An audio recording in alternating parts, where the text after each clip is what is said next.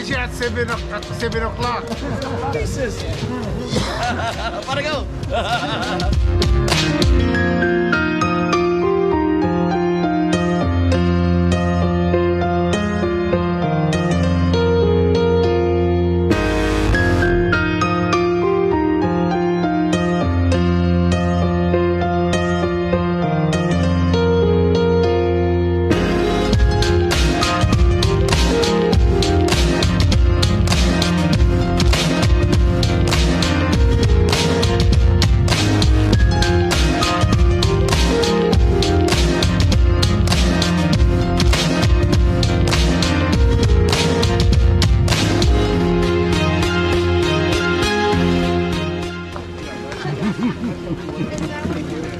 Manel na tayo Pilipino. Good